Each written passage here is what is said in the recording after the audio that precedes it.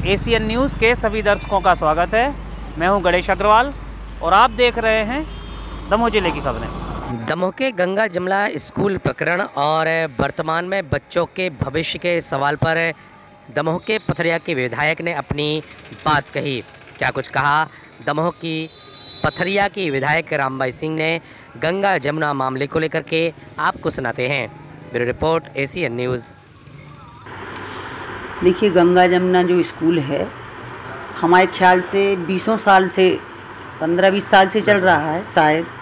तो इसके पहले जो बीजेपी की ही सरकार है ना पंद्रह बीस साल से तो बीजेपी की सरकार है। तब से ये बीजेपी के शासन में वो चल रहे हैं, मंत्री मिनिस्टरों के शासन में चलत रहे देख रेख भी होत रही। तब तो ऐसा भेदभाव और ये सब चीज़ें ना सामने नहीं आई, एकदम से कैसे आ गई? का कारण है?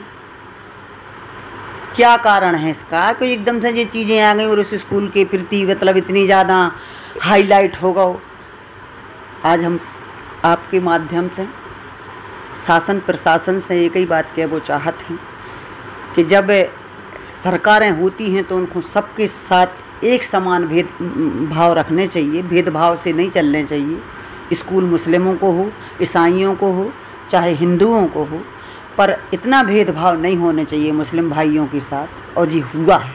स्कूल की कोई लापरवाही नहीं है। हमारे ख्याल से, जहाँ तक मुझे लगता है, और आज उन, उस स्कूल के जो बच्चे हैं, आज उन स्कूलों के बच्चों को मारे मारे फिर रहे हैं। उनके तो भविष्य ख़राब हो रहा है।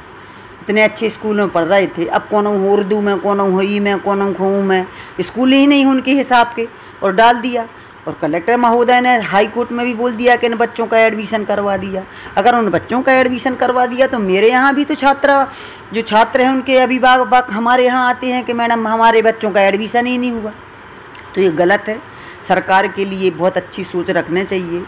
वो तुलसीदास ने एक बहुत अच्छा दोहा है जिसमें रामायण में कि निंदक नीरे राखियो आँगन कुटी छवा, बिन साबुन पानी बिना निर्मल करे सोहा। सरकारों के पास ऐसे हृदय रहने चाहिए सबके प्रति।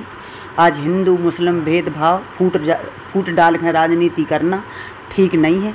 और कहीं ना कहीं हम आपके माध्यम से जनता तक भी जा खबर पहुँचा वो चाह कि मेरे देश, मध्य प्रदेश के भाई बहनों सभी जनों से निवेदन है, जनता जनार्दन से, कि जब फूट डालो, राजनीति से, सतर्क रहो, भेदभाव से सतर्क रहो, आप लोग नेताओं के चक्कर में मत पड़ो, आप भाईचारे से जियो, भाईचारे से रहो।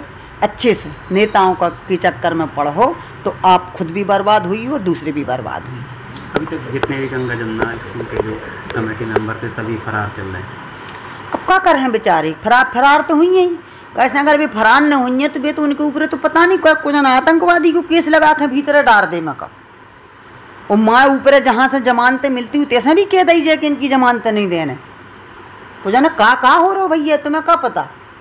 सोच नहीं सकते आप। इतने निम्न स्तर पे लोग गिर गए कि जिनकी सोचें मतलब कि शब्द नहीं है कहवे की लाने ऐसी स्थिति है।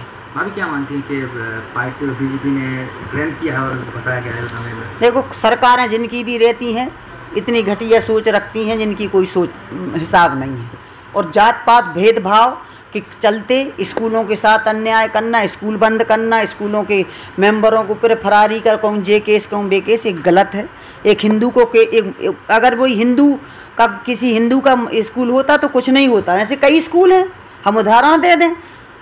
इतनी जल्दी, आज आज यही मध्य प्रदेश में अपने ही दमोह ज़िले में इतने फर्जी काम हो रहे कि कहो एस समाज की सीट है सरपंच की है, ब्राह्मण समाज के सरपंच बने फिर रहे। पिछड़ा वर्ग की सीट है सामान्य समाज के सरपंच बने हैं। ऐसे झूठे झांटे तो मैटर चल रहा है और कोनो गौरगिरी कर नहीं रहा हुआ है। लेकिन जहाँ से देख लो कि जे फला नहीं जात के, जे ढका नहीं जात के, सो होते वो पूरा निचोड़ दो। ये गलत बात भेदभाव की राजनीति किसी को नहीं करनी चाहिए। मानवता इंसानियत और नेकी और अच्छी की राजनीति करनी चाहिए।